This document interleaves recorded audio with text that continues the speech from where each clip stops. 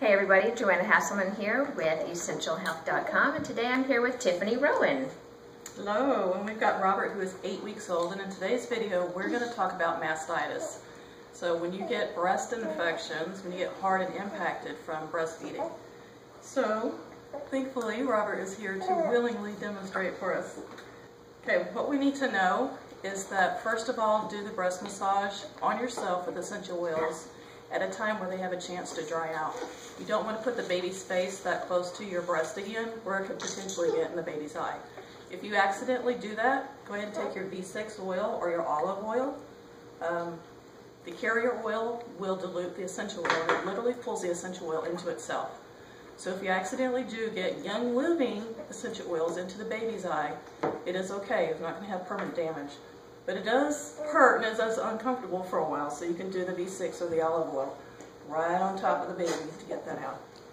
So it's very important to just do this massage where your, the oils have a chance to dry out before um, you nurse your baby again. Another thing that we need to know for large-breasted women is that breast does fold over onto the chest, and so we don't want to get oils in the fold of the skin. and that's going to be very irritating, so keep that area dry. Stay away from that area. Okay, the pec muscles actually start up here at the shoulder and they come down to the sternum. So you want to do your strokes this way and to the degree of the, um, the pressure in which you can stand it. So if it hurts really bad, just massage it at, um, at the pressure in which you can stand it. We're using lavender oil today. It's very gentle. Um, we know it's astringent. We also know it's antibacterial, uh, antimicrobial.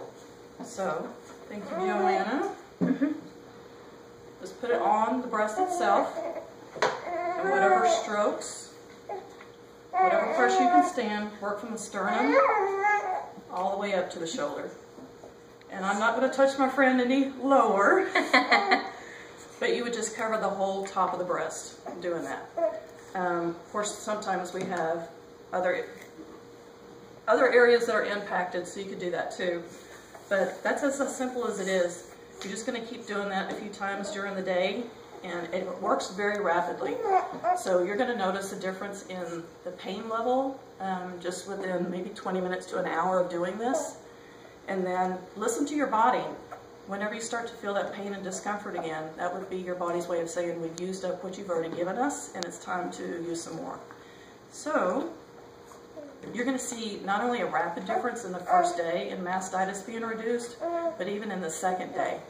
As with any infection, though, even though the symptoms are going away, the infection has not.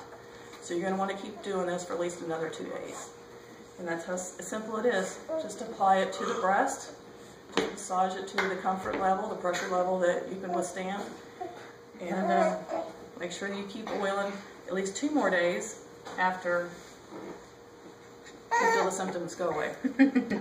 so, all right, well, thank you everybody for joining us today. Again, my name is Joanna Hasselman with EssentialHealth.com, and this is Tiffany Rowan from TiffanyRowan.com. And thank you guys for joining us.